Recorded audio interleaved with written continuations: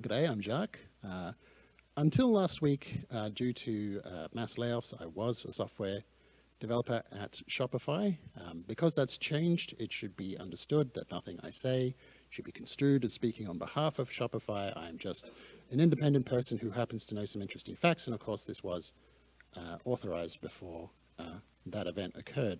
Um, so basically, you know, oh, one more thing is that like I'll be using our and we and is and was interchangeably uh, just out of habit. Uh, so the problem that Shopify had that I no longer have was uh, typo squatting. I beg your pardon, typo squatting. Um, you know, which is, which is the most frequent, numerically speaking, attack on supply chains, um, mostly because it's so easy to do, um, but it's very annoying, right? You're, you're, running a large company, you have thousands of developers, very easy for one of them to fat finger something and then you're in trouble. So what did we say? We said basically we're going to allow list our dependencies. This, this is still a thing in progress, but as a general class of solution, if you allow list your dependencies, it becomes impossible for developers to do the fat fingering. It'll just say, no, that's not on the list. But, you know, like, okay, how much work is that going to be? I don't know why they're not lining up, but too bad, you have to live with it. How much work is that going to be, right? There's a lot of dependencies. Um, so we had some questions. And basically our questions were, first of all, how many dependencies do we have right now in Ruby gems, not speaking of all the other things we have? Uh, what is the velocity? At, at, what pace do new dependencies get added to the estate? Uh, and sort of a bonus question, how quickly do we react to vulnerabilities? That's probably a thing that would be nice to know. So what did we do? Um, basically, we scraped the hell out of GitHub. Uh, what this diagram does not include is the amount of logic that's necessary to do that successfully.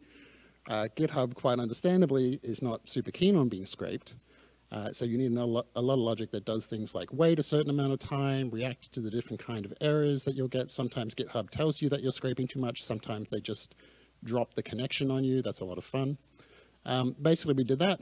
Uh, we went through each commit that had been made to a selection of repositories. We found all of the ones that were done on gemfile.lock. We pulled all the commits for gemfile.lock from those repositories, parsed them, wrote that information into SQLite, uh, and then we were able to join that with vulnerabilities data. And then there was a bunch of pretty plots that came out of it.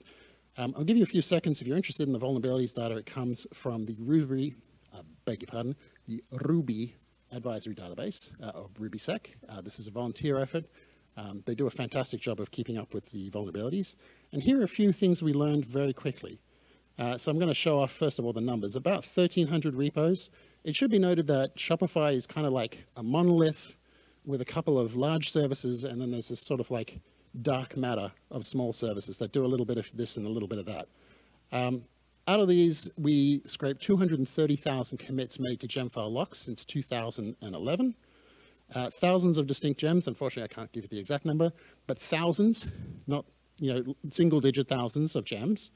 Um, it's interesting to note that uh, three quarters of those gems are still in use. There's about 25% of gems that have been used in the past that have since been abandoned. And about a fifth of those are used in the monolith. Uh, Shopify is famous for having the monolith. And this is a lot of fun. And this is the, the punchline. We got dozens of new gems coming online every month. So every month across the Shopify monolith across the various services that serve the monolith and across the many other services that serve many other purposes, there are dozens of new dependencies showing up every month. And so that would be the workload if we, for example, decided that you had to be approved uh, to adopt a new dependency. Um, this is the pretty diagram, which is not fitting properly. Let me, sorry, scrolling it. There we go. Uh, this is the diagram. I, I, had a lot of fun with this, um, sort of setting this up. Um, it shows clearly that the data does not go back to the origin of Shopify. It only goes back to 2011. Shopify is about 15 years old, so that'd be 2008, I think. Um, and particularly that Rails didn't show up first of all, and that's probably partly because it's so old that Rails was a zip file that got sent to the founder. Um, there's the first appearance of the monolith in the data, which again suggests that yeah, the data doesn't go the way. But I really enjoyed seeing that AWS SDK pulls in the universe. Uh, if you've ever dealt with that gem, it pulls in every other AWS SDK gem as a dependency. So that's why you see that, that sudden bump. Uh, what about our responsiveness? So we did get better at updating gems. I'm glad I can brag about that. Huge shout out to Dependabot. Um, there's uh, certainly, I can't sort of talk about the exact things that led to what and how and whatnots.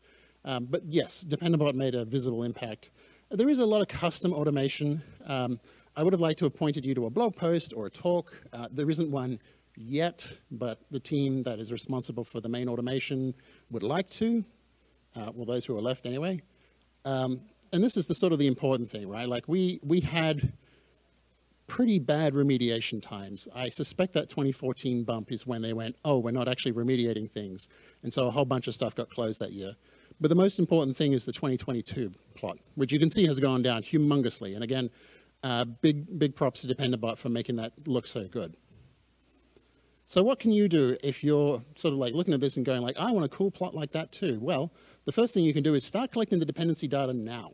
Now, there's no end of tools emerging, uh, projects, vendors who will sell you stuff. You can roll your own, which I wouldn't recommend. I think the vendors are getting pretty good and the open source project's getting pretty good. Um, but that's not going to talk about the stuff you had in the past. I haven't seen anybody, any vendors or tools where they're actually looking up historical data in the way that we did. So you're going to have to write some scraping logic. Um, that little diagram I gave and the slides are on, on the site gives you the basic process you have to follow. I really do recommend using SQLite. It's magnificent. When you have little projects, normalize your data, damn it.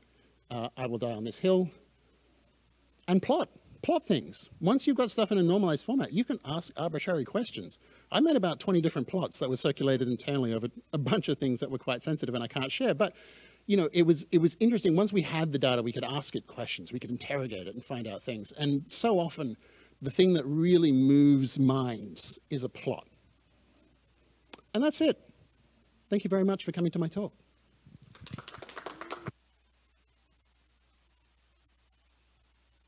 Do we have time for questions, or is it just floating around?